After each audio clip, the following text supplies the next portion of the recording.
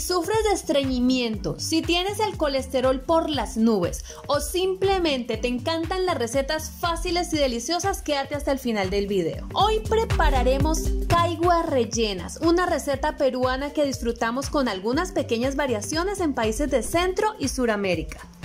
Los ingredientes a utilizar te los dejo en los comentarios. El principal es la caigua o pepino de agua, conocido también como archucha o en lengua quechua achucha ya que es un alimento ancestral. Para ellos era una planta mágica.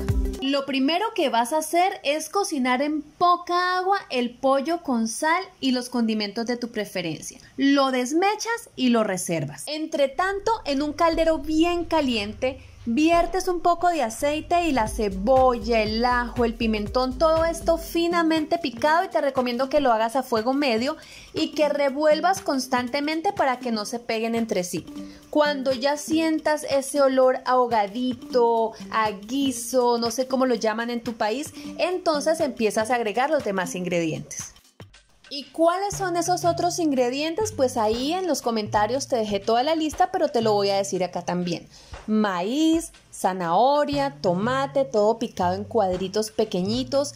Le puedes poner sal, pimienta, especies si son de tu gusto y le bajas el fuego. Continúa revolviendo poco a poco, lo dejas más o menos entre 5 y 10 minutos hasta que el olor en tu cocina te diga que eso ya está, que todo se ha combinado los olores y los sabores.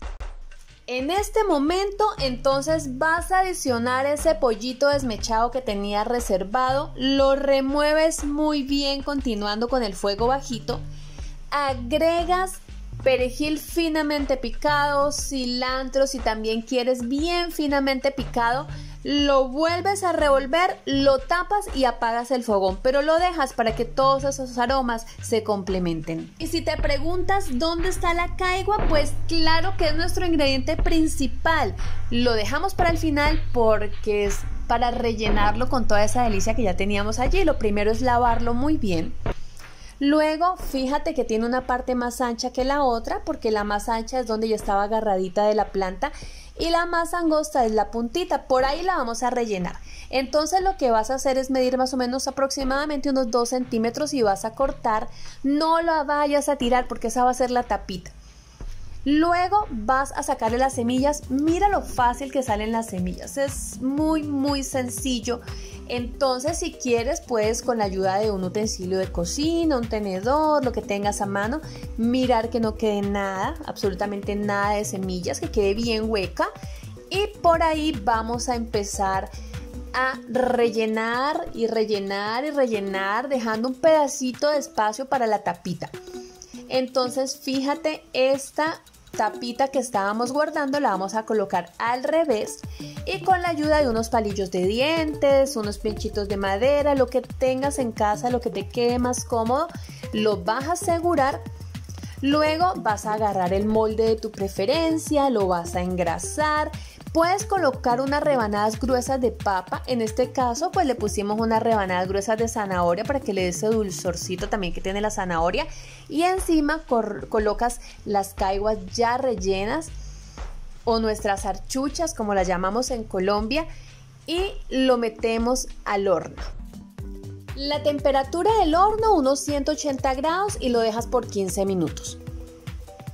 Y mira nada más lo suave que queda, lo jugosa porque este alimento tiene muchísima agua y al compenetrarse y complementarse con los sabores de los demás ingredientes, el olor es delicioso y tiene muchísimo aporte nutricional.